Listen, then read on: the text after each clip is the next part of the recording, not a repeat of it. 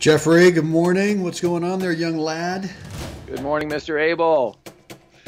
It is uh, it's stormy here wherever I am at the wherever mobile. you are. There's so much inside that head. There's just that's right. It's like a like a typhoon going off all the time, right. just swirling around. Yeah, wherever I am, physically or ethereally, right? Uh, just it could be anywhere. Okay, good. oh no. Good. Well, let's try to uh, we'll try to lock in on one little one little right. nugget today. Um, Focus my attention. Yeah, good, good, uh, guys. Hey, thanks for hanging out with us today. And um, Brent Abel here, uh, Jeff Jacklich uh, next to me, and we are uh, dos amigos with uh, uh, goldballhunting.com. We're here to help you guys uh, become a better player. And one of the ways we're to do that is through this podcast, whether you're watching it on video or, or listening to it on, on audio. We are sharing stories from um, from the boots on the ground. I'm stealing that from Jeff. Yep. Uh, boots boots on the ground type of stuff, stuff that we've gone through. Um, it is uh, all Shawshank all day. Another Jeff Jack. Boom, baby. Uh, boom, baby. Um, what does that mean? What does all Shawshank all day mean, Jeff? Well, if you if you know the movie Shawshank Redemption, um, uh, Timothy Robbins uh, plans his own escape out of prison. It's a period piece, 1930s, 1940s, and um, he uh, he has to crawl through about 200 yards of sewer line out of prison to the literally human fresh, waste. Literally, uh, to get to the the the freshwater creek and it's raining. The scene is raining when he finally emerges from the sewer line, and he bathes himself in, in clean fresh water. And it, it's um, so for me, you know, all Shawshank all day just simply means you got to do the work. If if you want the result, if we want to be out there at the end of this and and come up with um, you know, we're struggling with a first or second round win, or we're struggling to be in the hunt quarter semis, uh, even finals. Um, and and we're trying to get over these these benchmark uh, moments. Um, uh, uh, for me, it's you know it's all Shawshank all day. You got to you got to crawl through the muck, and it doesn't mean the muck is horrible. There's a, there's a, you got to embrace it. You got to embrace that part of the journey, and um, well, and enjoy tough. it. I mean, that's that's. You know? I mean, a lot of guys would not have done what he did in that movie. Um, Correct. they might have gotten themselves right to the point of where he had to drop into the the sewer line and they would right. go, "I just don't want it this bad. Just, just don't want it this bad," and and yeah. then go back and and uh, and live the rest of your life in that cell. Um, yeah. Well, no, I think I think it's a great way of explaining it, and there's no question that what whatever category of player that you fall into, whether you're playing national events, national tournaments, or you're playing local events and you're you're getting through a round maybe two but you're getting stuck and you can't get to that next that next round where you know you're walking in there's only eight guys left in the draw and uh, or you're a league player you know and and you want to actually have a new rating label you know you've been you've been yeah. stuck here with this label this ntrp label of whatever it is, yes. which is so woefully inaccurate. Anyway, right. But you're stuck there, and you really want to get a new label, or you're you're content with the label you've got. You like playing with at that skill level, but you want to win a lot more of your matches. You want to up your winning percentage, or maybe, um, or maybe you're the Wednesday night doubles guy, regular scheduled match with your buds uh, or maybe you're playing Thursday noon doubles with the same guy over and over. And you know what? You're sick and tired of having to buy the beers. You're sick and tired of having to, you know, not come away with the W on a week in and week out right. basis. And that's really, as you love to say, that's your gold ball. Yeah. And uh, and, and that's really so. So we're here to help you guys uh, and gals um, try to get there. Try to try to bump it up. And one of the one of the ways we're doing that is we've got uh, a video that we want to get to you about confidence. How do you build confidence in your game? And it's it's relative to all skill levels. It, it doesn't matter if you're just starting or if you're on the in the middle, or if you're if you're contending for national titles, you still want to make sure that your confidence day in and day out is that you can trust how you're going to play today. You're pretty sure that you're going yep. to come out at, at pretty close to whatever the top of your skill level is today, uh, which you might have done yesterday. And yet today you come out and you lay an egg and thud, right. you're down here. so, what we call a skill level range when you become a confident player is when you bring the bottom of that range up. So day in and day out, you're playing you're playing predictably pretty darn close to the top of your skill level. And once you can right. get that skill level range minimized, that's when you can start to take that bump up to the next level. So we've got a free video for you how to do that. Um, it's private, it's free, but you uh, you got to get signed up for it. Got to jump on our email list. We promise no spam. Just go to goldballhunting.com, first name, email address, click, and uh, and you'll get access to it. Awesome. So, um, anything else on your mind, JJ, before uh, I put Actually, you in the hot seat today? well, we're you know we're talking about you know gold ball hunting, and just you know full disclosure, you know I'm still hunting for my first. You know I've got a bronze. You, have been you've been there. You're this close. I've, yes, I've I've I've seen the promised land. you know I've got a bronze, I've got a silver, um, but I'm still hunting. So you know just to let everybody know, you know I've I've got I've got you know other titles and you know category two titles and singles and doubles and all kinds of stuff.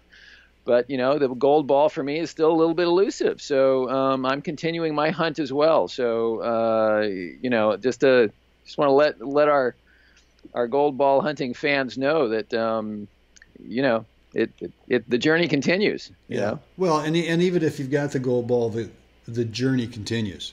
Yeah. It's it's not not it's not once you get there that it's literally like riding a bike. Right. I mean, because once you get there, there are a lot of guys, there are a lot of gals who are right there as well. Yeah, and, right. And it's it's it's one of those things where when you do win one, at least in my case, when um, it's it's just been just keep showing up just keep showing up. You still got to do the work. You have to you keep. Still got to keep showing up. and it's never a given.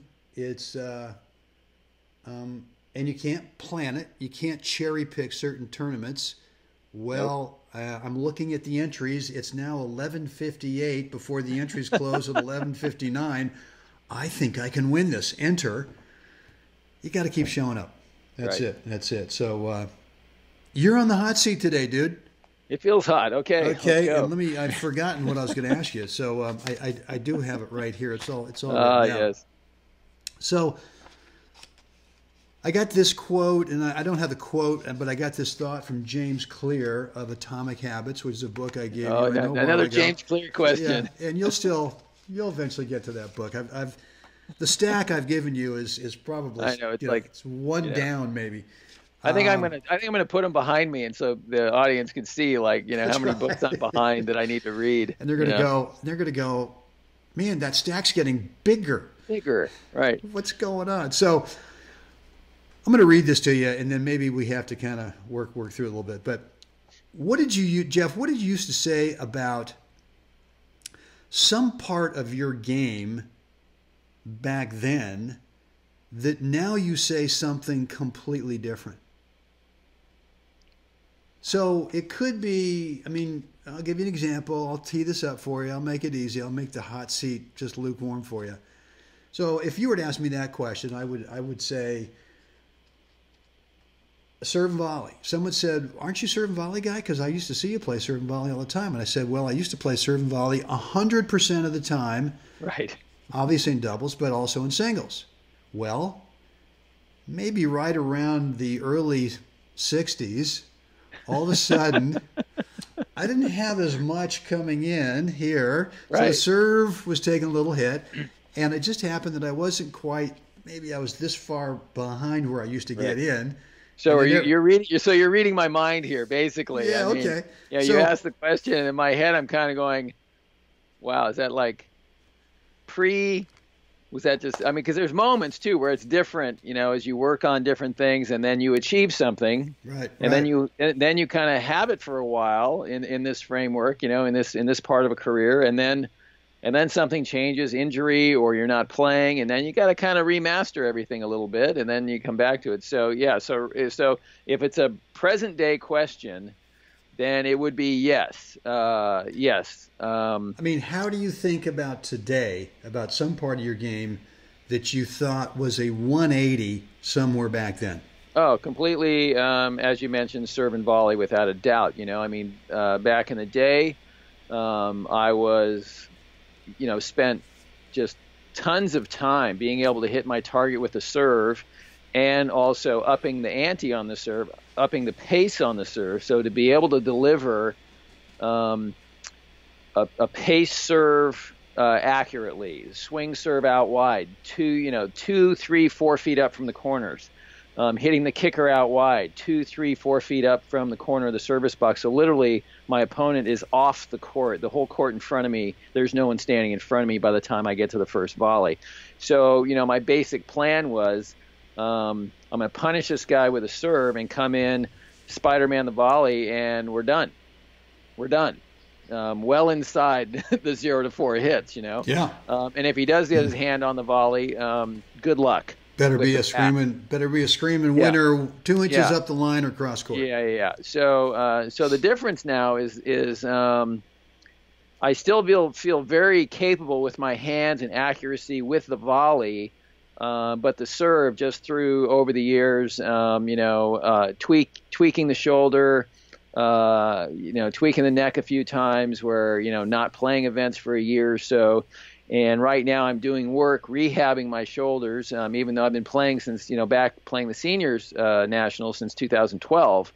Um, uh, the serve has probably fallen off the most, and that's the one thing that for me this year is the thing I'm going to be spending a lot of time on to to remaster it a little bit. I'm probably going to have to tweak the motion a little bit and get that, and that might be something you and I actually spend some time on the court with, because it's always good to have another uh, great set of eyes on it. Um, um, so yeah, so I have to be much more cagey about serving and volleying now. It's not. It's no longer just the automatic go-to.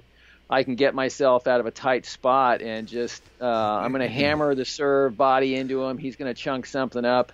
It's like predicting the future because you're so confident in the delivery of the serve, and I know I can cover you know 80% of the return balls and i'm confident with my volley that i can make something you know great happen. Um, so i have to be much more cagey. Um, and it really it, it's all about my opponent and their ability to return. Like where are they at? And so that's how i i gauge now um, when i deliver the serve and volley it maybe just be once in a game um, but i'm always looking to see how you know with the serve how do i create um, a ball that I can get a hold of a forehand on, maybe you know shallow ball. So now it might be serve, um, shallow ball, you know heavy ball into their backhand side, or right up the center of the court at them, and then I'm in behind that. You know, so um, so that tactic adjust is probably the biggest one, most obvious one for me. That's just blatantly there.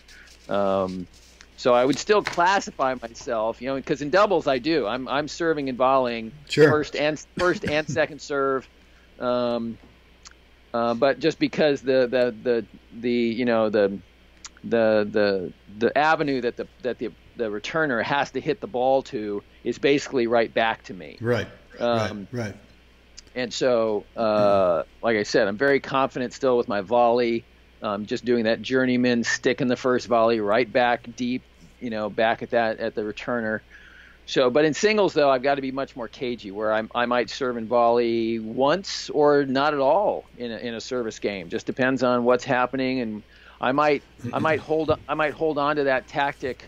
Um, uh, to a little bit different part. Uh, you know, maybe near the end of the first set, I haven't done it yet, um, and maybe I've broken him, and maybe I'm serving for the set at 40-15. I decide, you know what, I'm going to throw a big kicker here in on a first serve, get the ball up around his eyeballs, up in the backhand side maybe, and with the kicker, I know I'm going to get another extra step and a half in closer to the net, and I haven't done it yet.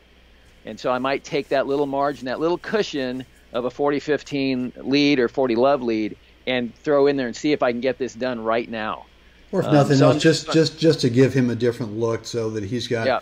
another thing to consider. Right. Uh, about what might be happening in the future, so that he can't, at least in his mind, that you're not predictable about what you're gonna, right. about what you're gonna do. So, yeah, no, there's a. I, I think for me too, it's. Um, I used to think. I used to think when I was younger that every ball is an approach shot opportunity. Oops. and it worked for a while. Right. and then all of a sudden it didn't work. So right. It worked until it didn't work. It did, you, know, and it's interesting because I probably went through a period of a couple of years when it when it stopped not working as it did before. But I just kept my head buried in the sand, and I didn't want to consider. And it wasn't so much, well, I guess it was the age thing, but I didn't really want to consider that that I couldn't somehow work harder to recapture what it was that I used to do. And at some point, it was like you know, a, like like the two by four whack against the side of the head, going you know, boing, yeah, dude. It's never coming back. That's right. That's right. Yeah. So the 120 the 120 serve ain't coming back. That's right. So it was uh and I guess you know the way I'd answer it, what did I think then that I do now is I really didn't really put much emphasis on on the sense of when I would say, well, every ball is an approach shot opportunity, which to me meant I'm coming in, you got you got your shot right here, dude. You got it right here. Right. I'll give you a foot over here. I'll give you a foot over here. If you can top it, foot over my head, great. But if you don't do that, right. then then points over. And so for me though, it was really an excuse not to feel comfortable staying in the point.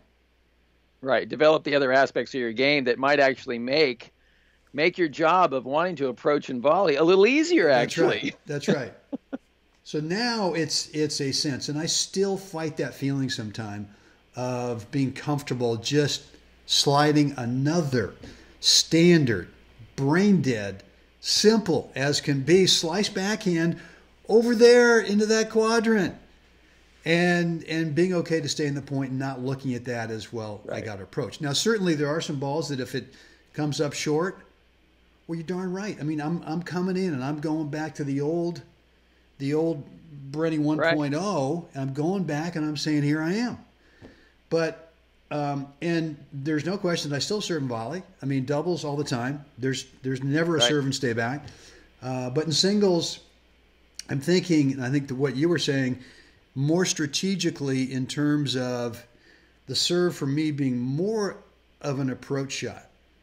So can I swing him out like I might do on a, some kind of an approach? Get him out wide, and then just come into a spot, and it doesn't have to be super tight in the net but if I've got him out there, do side, right handed me, serve, slide him out wide. Right. If I've got him out there, all I need to do is just out quick whatever he gives me back. And then just right. just throw the puck in the corner over there and let him we'll run. Kind of take it from there. but it's more strategic than it is big serve, big volley, um, you know, big boy type of serve and volley stuff. It's right. it's and I'll tell you the other thing too. Um, I used to think drop shots were were for, you know, pushers and wimps and baby boys and and, and blah blah blah. and now I've come to realize that oh my God, the dropper, it's a massive weapon. Huge. Huge. And so, I mean, there's lots of ways that I think about the game now that that I certainly right. didn't think and and uh, not that it's diametrically opposed to what I used to think back then, but I just didn't think back then about a lot of the stuff I think about now. Yeah. Well, I think, you know, the, uh, you know, what's different, you know, I mean, that the basic premise of the question is, you know, then, now. Uh, yes, no. I mean, so, and the idea is that, you know, we're, you know, we're focused here in this, our little conversations here are focused on, you know, gold ball hunting, senior, senior tennis whether it's league tennis or or you're a national player and you're hunting for that gold ball. Um, it it's different, you know. So you know, I trained you know my whole you know junior, junior college, college, Division One ball, playing you know the tour, and I I trained all of that to be able to do exactly what I just said. I'm going to crush a first serve, be hyper accurate, and Spider-Man the first volley, and and that's my basic plan all day long. I'm going to do that, and so training endlessly. Take that backhand mid court, slice it up the line, cover the line, make the guy make the you know cross court in front of you, cover that so that, so you've got that covered. But you're going to make him pass the ball in front of you. Um, you know, once you approach up the line, and then okay, forehand. I approach down the line, and da da da. Well, you know, things have changed. You know, um, uh, stroke technique has changed. Um, the the the technical, so the uh, technical. I mean the the the actual materials that rackets are made of now. You know, we've got space materials that um, literally sometimes I think um, I'm hitting the ball harder now than I was when I was 24 with yeah. a wooden racket in my yeah. hand, or or just the new early graphite frames that were going on at that time. Um, which means that you know I know with me on a dead run and just flicking my wrist with this space material racket that I can hit a dinger and like do damage, right? And so so tactically, you know, my progression in this whole deal has been I, I literally had to override my 24 year old player instincts and remaster the way I think and how I construct a point. So, yes, I had to go back to the drawing board and kind of go, I need to retrain some new patterns, I need to retrain um, tactically how I use my serve, re, you know, retrain tactically how I'm hitting the return because I need to construct the point differently now than I did then. And and so now you got to relook at your toolbox and what's in there and how do I construct a game now that is sustainable, you know, repeatable and sustainable. And so I it's a great question because this is where I think some players lose their way is is that they're not they're not being honest about what their skill set is now as opposed to what it was even two years ago, right, right, or three years ago, or four years ago. Right. It changes, and this is where we have to be. You know, the adaptability, um, and our honesty in our own mind. You know, to to well, look. look at it squarely and go, okay, guess what, Jeff, you're not the fastest horse in the barn anymore Okay, okay, I get that. I okay, I I admit it. I I throw myself upon the mercy of the court. I'm not. You know, so so what does that mean? It doesn't mean that I can't you know compete at the highest level or or get my gold ball or any of that. It just means how am I going to approach this now, and how am I going to use tactically what I have in my toolkit to to be successful? Well, yeah, and I think the other you know, if we're talking about tactics and strategies based on your reality of of I, I can't do what I used to do, so I've got to figure out well what tools do I have in the box that I can realistically do now at this age. But the other thing I think that we all got to be smart about is that another another way to strategize is based on that guy or that gal over there, and right. it's kind of like we hear the cliche of, of offense. Well, you you just got to take what they give you. So, I mean, I play guys now who used to be little gnats out there. I mean, these were little water bugs that you could hit the right. the crap out of the ball, and they're going ho hum. Thank you very much. Now something's happened, right? Either there's been an injury, or maybe they've been the food bag's been on a little bit too often, too much whatever. You know what I mean? Five or ten can change things. That's right. and and the court's bigger for them now than what it used to be. Um, right. So I guess my point is is that um, is that I'm now looking at what is this guy giving me over there? What what and, and it may not be my most comfortable deal. Right. And so I'm going to sort of cherry pick out of my toolbox. Well, he's giving me this. Can I actually play the shot that will take advantage of what he's giving me. Right. And hopefully, hopefully the answer is a realistic one, which is yes, as opposed to oh yeah, oh yeah, man, I got that. Thanks. Sure, sure. Right. Right. No, you no, you don't. Maybe no, you don't. so anyway, I just thought I just thought we should also add that as a condition that you know you've yeah you got to be starting to think more realistically about what is now as opposed to back then, and and and and bring your opponent into that equation. Right. Because God, I remember, I remember in the 35s, I played a guy. It's one of my first year, maybe my first year in the 35s, and uh, you know, I was just getting into senior tennis, and I was really fired up, and I had to play a guy in. Uh, it was a Sacramento tournament, I guess. Anyway, guy named Steve Turpin. And yeah, does that name ring a bell at all? Yeah, it does. Yeah, all yeah. Right. So Steve Turpin was, I think, from Sacramento. Um, anyway, we actually the tournament was up in Auburn. We, we played in Auburn, and and that one summer when I played some uh, junior tournaments when I was 14, you know, I got beat by Van Dillen 0 0 like two or three times, and I got beat by Steve Turpin, Steve Turpin, uh, like 0 0 maybe, you know, right. a bunch of times.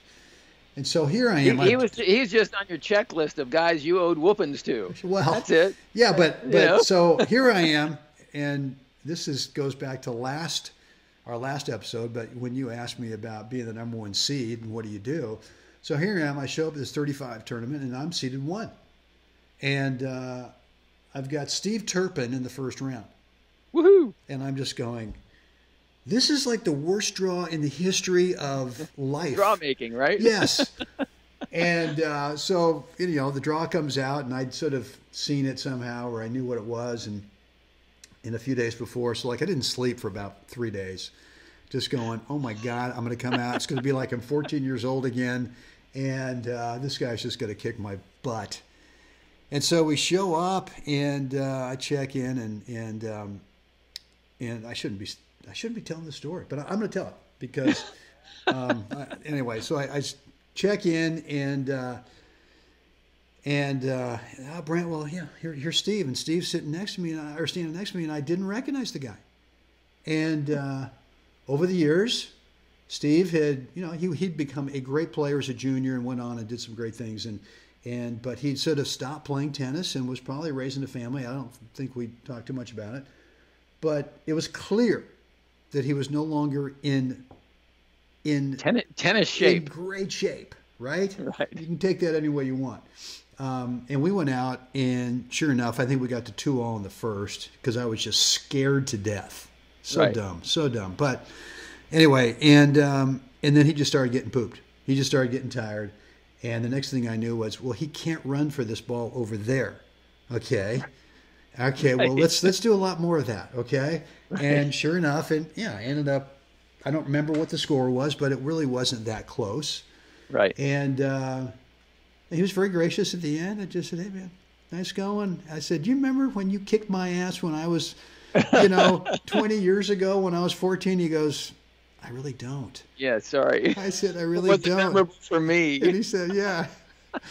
and he, I said, "Well, you did, you did," and. Uh, and we had a nice chat afterwards. But yeah. I think you know that's that's just a, a reality check that um, as we age up, um, is that things change. Someone that used to beat your booty like a drum, right, may not have the same. If you underhand feed them, sure, they got the great looking shots they had before, right. But this is not a game of underhand feeding. This is, dude, you're gonna yeah. have to run over there to get this ball. So think we've got this one pr- pretty well worked out here, JJ. Um, anyway, good answer. Question. Good answer. Love. Uh, I love your answer. Uh, let's wrap it up. What's the next thing for everyone to do right now? Like us, share us, and subscribe to us so you uh, you you get notified no, notificated. no, you, get, you get no, notified. No, you get notifications. I- notified. Yes. Um, uh, when the next video comes out. That's so, right. uh, you know, hopefully we're giving you stuff, some nuggets that you can uh, glean from our talks and learn. Because um, it's just uh, tennis is one of the greatest learning tools on the planet. I, it's just a phenomenal uh, game, and it, you get to meet phenomenal people, and you are sometimes forced into extraordinary circumstances that uh, you end up. There's a lot of personal growth that happens on this journey. So, for, um, for sure, it, it, it's, for sure. It, it's just great. So we encourage you to jump in with us and. Uh, and really, what we're helping you guys, we're we're at least we're hoping to help you guys get that that really cool, that tangible feeling of when you know, my God, I'm playing better.